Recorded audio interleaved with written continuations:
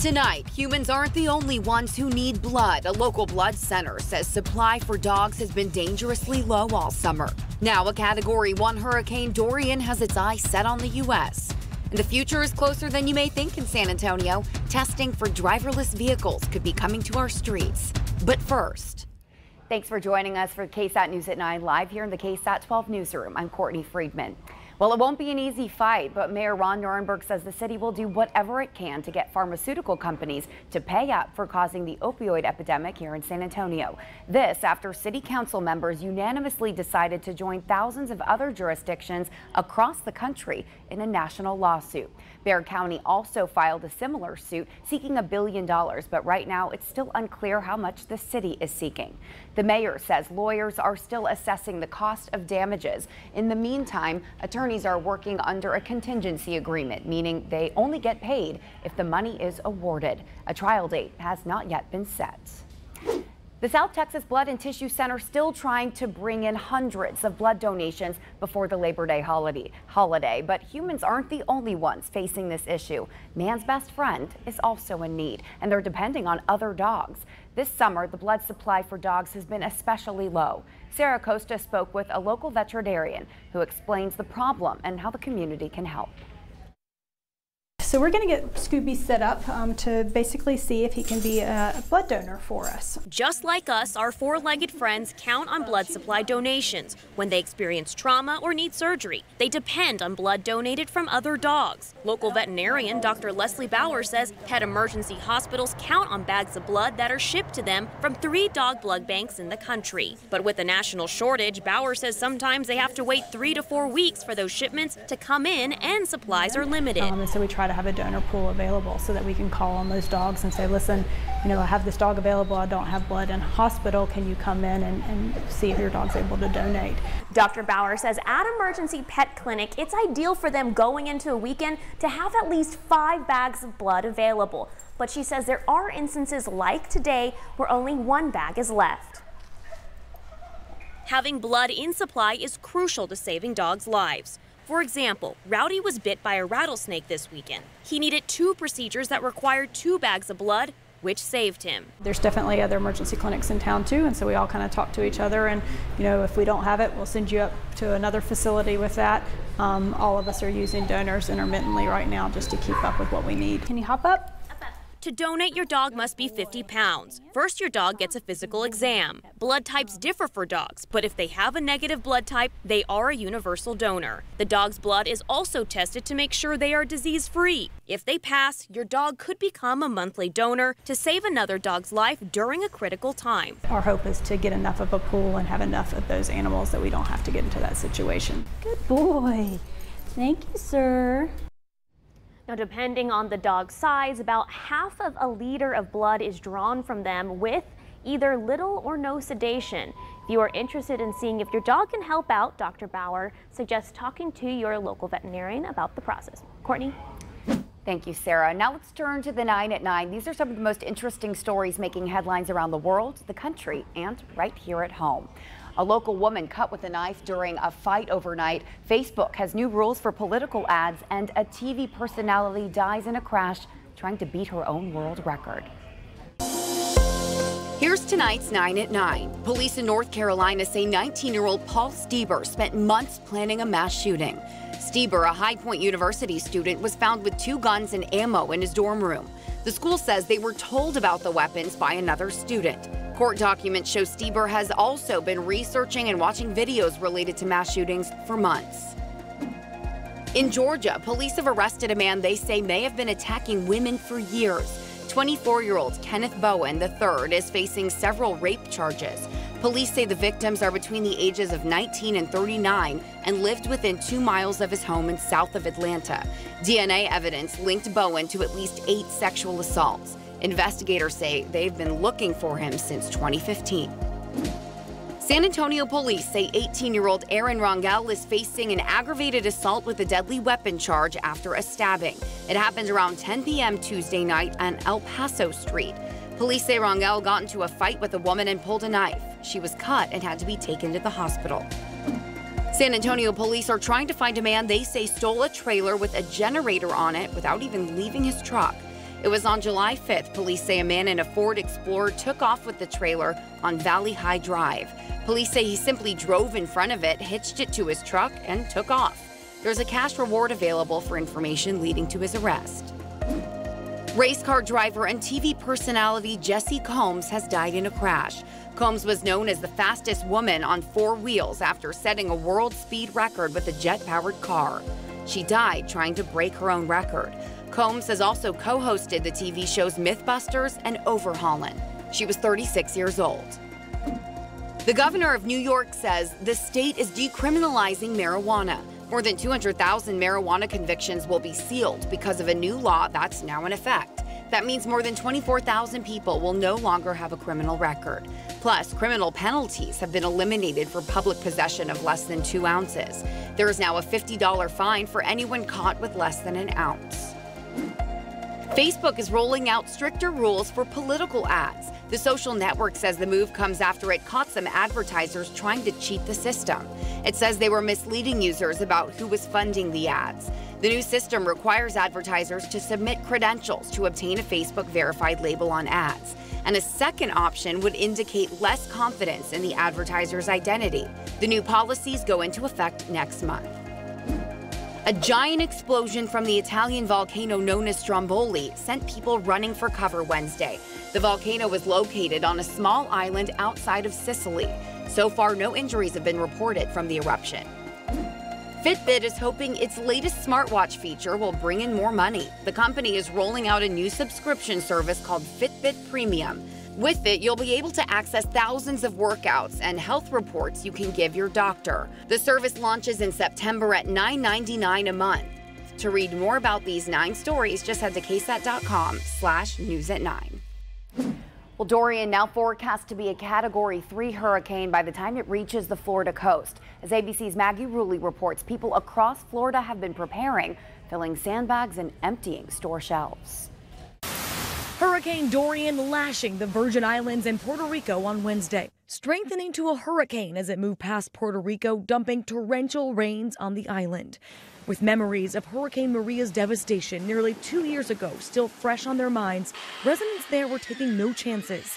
But officials say this time around they were better prepared. It is the first system uh, of the year, and we understand that the island is still very fragile. The so called dirty side of the storm whipping past the Virgin Islands, bringing with it winds of at least 80 miles per hour and several inches of rain, knocking out power to tens of thousands. Forecasters now predict Dorian could grow to a Category 3 hurricane by the time it reaches the coast of Florida over the weekend. Bottom line is that we have a very, very serious hurricane threat to the state of Florida. Florida residents filling up sandbags while officials there are testing water pumps and emptying canals. Residents should make sure that emergency equipment such as uh, hurricane shutters and battery powered radios are in good working order. Store shelves emptied as Floridians prepared. I'm not that concerned, but I think it's better to be safe than sorry. Dorian already taking its toll on travel. Cruise ships have altered their routes, and airlines have already begun canceling flights. Maggie Rulli, ABC News, New York. Florida preparing the best yeah. they can, so obviously they're really expecting some big storms. And truly, the whole state is inside the cone of uncertainty all the way from South Florida and Miami, really up to southern Georgia. So a lot of people kind of on edge watching Dorian very closely. Here's the latest on Category 1 Hurricane Dorian. Its maximum sustained winds up to 80 miles per hour tonight. It is now moving away from land and all it has out in front of it are the very warm waters of the eastern Atlantic Ocean and that's why strengthening is anticipated over the next few days. So we'll be watching this toward the end of the week weekend. Here's Sunday at 2 o'clock in the afternoon, expected to be a Category 3 hurricane. Again, there's nothing in its way here.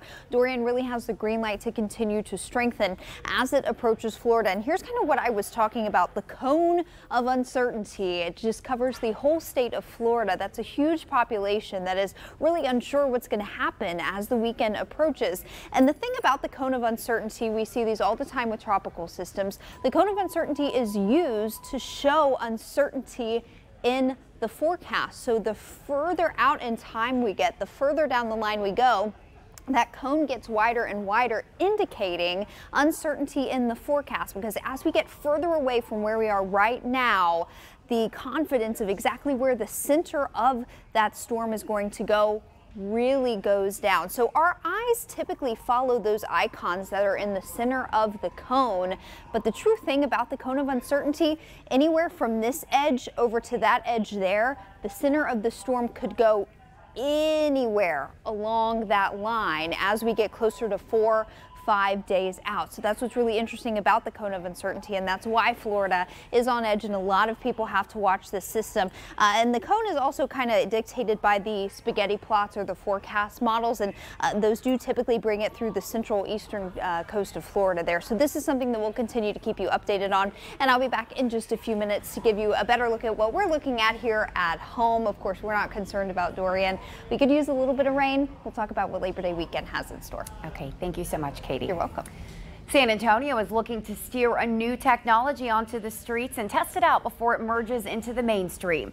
Brooks, the former Air Force Base turned mixed-use development on the southeast side, would be the planned site of a pilot program for self-driving vehicles. The city's chief innovation officer said it is jumping in with Brooks and Via Metropolitan Transit for this program. It would consist of two autonomous shuttles driving routes by the Brooks Transit Center, providing transportation for the first or last part of their bus trip. The intent is to get the program started before the end of the year.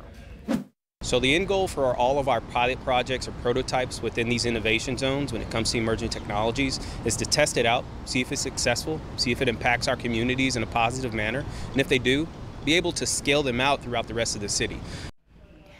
Though Dillard says this is the first time autonomous vehicles would hit San Antonio public streets, the Southwest Research Institute has been researching autonomous vehicles on its campus since 2006 and would also be involved. Here in San Antonio, some East Central ISD parents say their children have been riding overcrowded buses since the school year started, sometimes not even getting a seat. East Central ISD officials released a statement in response to growing concerns. It read in part, quote, students are not allowed to stand or block exits while the bus is moving. All overloads from last week were addressed on Monday and changes have gone into effect. Drivers are instructed to report overloads if they occur, end quote. But some parents say they haven't seen any improvement. There's a lot of kids here. The, the neighborhood over here, between both of these neighborhoods, there's a lot of kids, and we just want our kids to be safe. That's a long travel. Part of East Central ISD statement said today also stresses, quote, the buses are not allowed to move if they are overloaded. Parents are encouraged to contact the district's transportation department for more information. Labor Day is almost upon us, which means travelers will need to pack a bit of patience, whether they're driving or flying this weekend. What to know before heading out the door next. Plus, a Democratic presidential candidate has dropped out of the race. The reason why, coming up.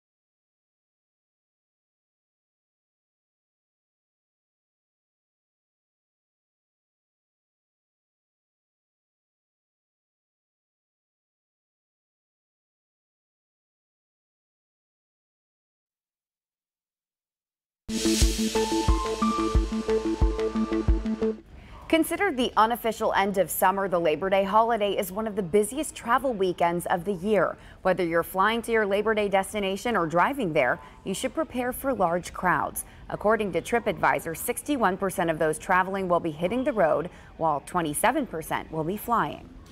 This year, over one third of Americans will be traveling for that last long weekend in summer. Try to leave a little bit earlier than you normally would, or even later in the day to help avoid some of those busy trafficked roadways and long lines at the airport. No matter how you're getting there, keep these two key dates in mind. TripAdvisor says Thursday, August 29th and Tuesday, September 3rd will be the busiest days. But if you can't avoid them, remember to be patient. Let's turn now to some of the biggest stories people are talking about around America. Democrat Kirsten Gillibrand is dropping out of the presidential race.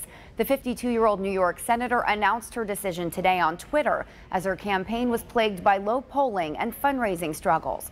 She'd failed to meet thresholds for required numbers of donors and polling to qualify for the September debate in Houston. In five years, drivers in Illinois will have another option to select on their state ID other than male or female. The third option will be called non-binary. It will require major overhaul with the way IDs are issued, including changing the way they're numbered. Meanwhile, critics want genders taken off the licenses altogether. FBI and IRS agents have raided the Michigan home of a big labor union leader Wednesday. Agents could be seen at the residence of the United Auto Workers president, Gary Jones. The raid is apparently connected to a federal investigation into corruption in the auto industry. Investigators have been looking into possible kickbacks and bribes. No word on how Jones is involved and what the FBI is looking for.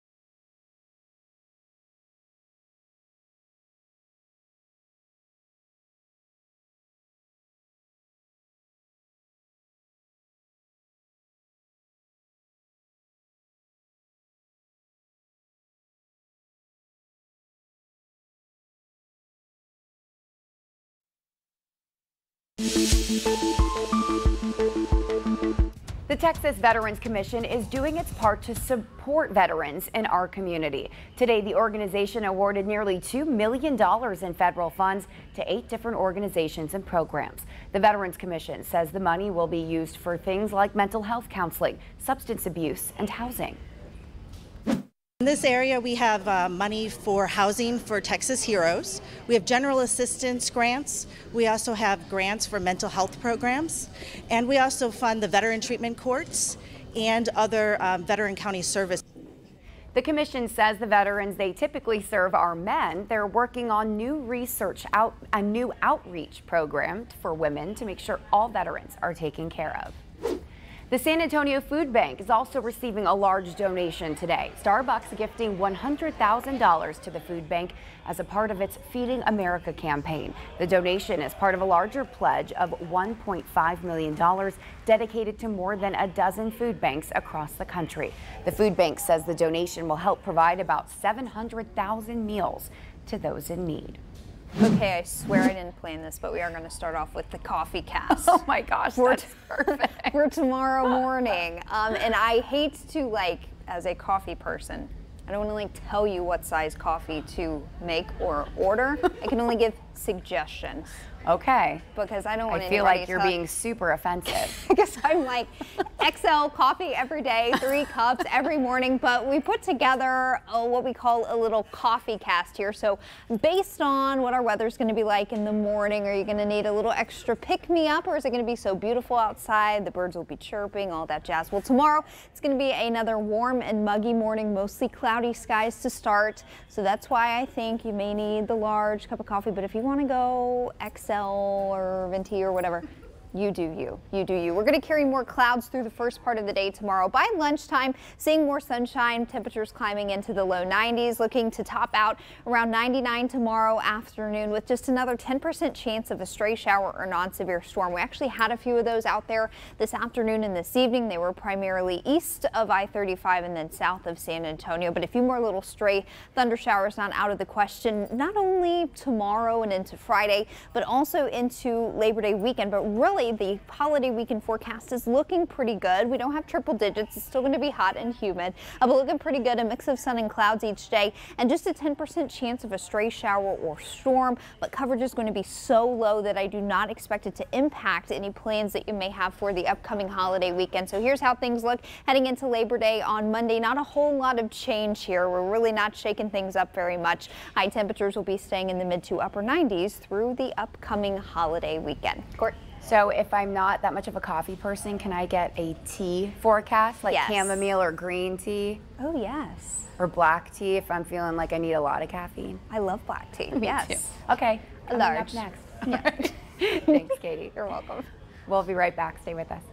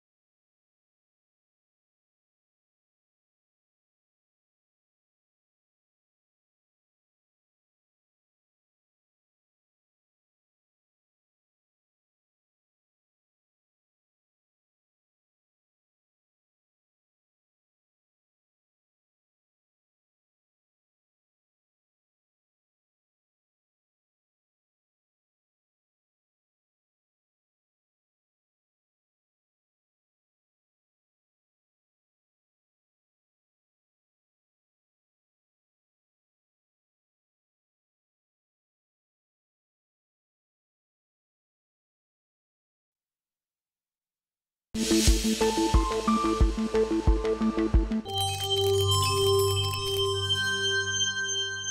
Now let's take a look at what's trending on KSAT.com with RJ Marquez. All right, Courtney, interesting mix of stories tonight. And uh, let's start first with a pretty uh, interesting story about bananas possibly going extinct. What? I know, it's uh, hard to believe, but apparently there is a deadly fungus that has made its way from Southeast Asia to parts of South America. Oh, wow, this and is it's serious. affecting. This is a pretty big deal here, yes. Now, uh, fortunately, there are experts and biologists that say that they think they can quarantine this in South Oh my America, gosh. but uh, it is maybe going to cause the rise of bananas, uh, the cost of that here in the United States. So, yes, as a big uh, banana fan, I this know. is definitely a little uh, worrisome. Yeah, what are we going to do with our smoothies? exactly. well, hopefully they'll be able to figure that quarantine out. Yeah, Banana definitely. quarantine. Um, yeah, and if you want uh, more information on this, go to ksat.com. All right, switching gears a little bit here. Uh, so, a this movie, The Joker, it will be Mhm. coming out uh, here pretty soon. I believe it's September 4th that this is supposed to come out. Um, and the final trailer was released today. This is with Joaquin Phoenix, and it is creepy as all get. It I don't weird. even want to watch it. I know people have been talking about Mhm. it. I'm just kind Yeah. of like, eh, might sit this one out. Yeah, I think this is kind of more of a uh, like a psychological kind of Mhm. disturbing type of Joker that we're seeing here. I know director Patrick says that he thinks it could live up to the Heath Ledger Joker. oh my gosh, I'm a big. Heath Ledger fan, so Mhm. it would take a lot. But also, I feel like this is uh, different. It's Right. a different feel. It's Right. a little more creepy. Absolutely. This trailer's been getting a lot of attention today. We have it on this article on ksat.com. Make sure you check that out. All right, uh, sticking kind of with the entertainment movie business, Okay. and uh, I knew this story would get your attention, Courtney, as a Texas alum, as a Texas ex. Matthew McConaughey, officially a film professor at UT. Your thoughts? I have so many thoughts. Number one, Yeah. Why did this not happen when I was there? That's- num- this- so the number one thought is Yeah. jealousy. Mhm. Um, number two thought is really cool experience Yeah. for the students there because UT has a really good journalism school, which I was lucky to be with. But their radio, television, film classes are already incredible. Yeah, so and uh, this, sounds really cool. Apparently, he's already been assisting in this class. This is called a script to screen. So basically, students are going to be able to watch the movie with him and then have him kind of uh, give them his analysis of it uh, afterwards. So. Really interesting, really cool. Matthew McConaughey, he was named the Minister of Culture, I think, last year, right? Yeah, For the yeah. athletics department. He Mhm. gives uh, speeches to the football team. He's on the sideline at basketball games, and now he's going to be in class. He's an integral part, and he's a good cheerleader for, for Yeah, UT. definitely. But uh, I'm just curious how kids are going to be stampeding to get into that class. I could imagine, yeah, Sean, I definitely. would be, I would be surprised if Yeah. people weren't running towards that Absolutely, classroom. yeah. Um, if you want more information on this story and everything else on our website, head to ksat.com. That is what is trending tonight. Thank you, RJ. We'll be right back.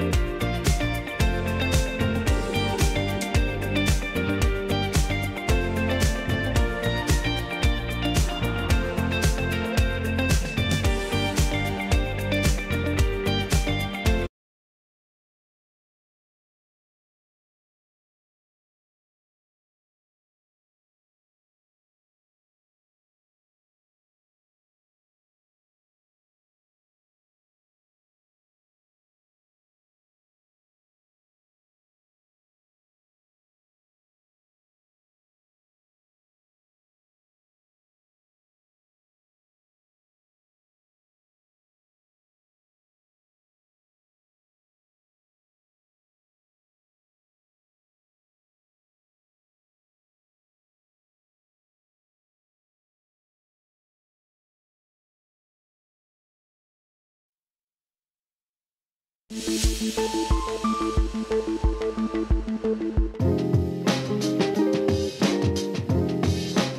is your daily tech and business briefing from Cheddar. Fitbit has announced its newest smartwatch, the Versa 2. The device comes with Amazon Alexa and five days of battery life. The watch can also track your sleep and will give users a score based on the average data it collects. Fitbit's new Apple Watch competitor will launch September 15th, starting at $200. The company also announcing the launch of a new health subscription service called Fitbit Premium. This will give users access to personalized coaching, including health reports, workouts, and sleep features. In other news, federal regulators are taking a step toward allowing mirrorless cars. The National Highway Traffic Safety Administration plans to test cameras that could replace the traditional rear view and side mirrors. Major car makers are pushing for the technology, arguing that cameras are better than human eyesight.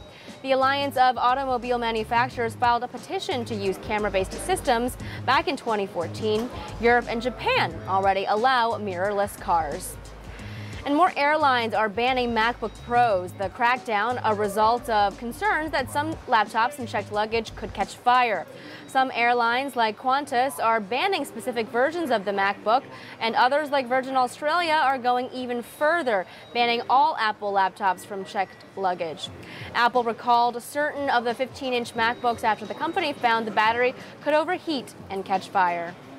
And that's your Cheddar Business and Tech Update. I'm Hope King from the floor of the New York Stock Exchange.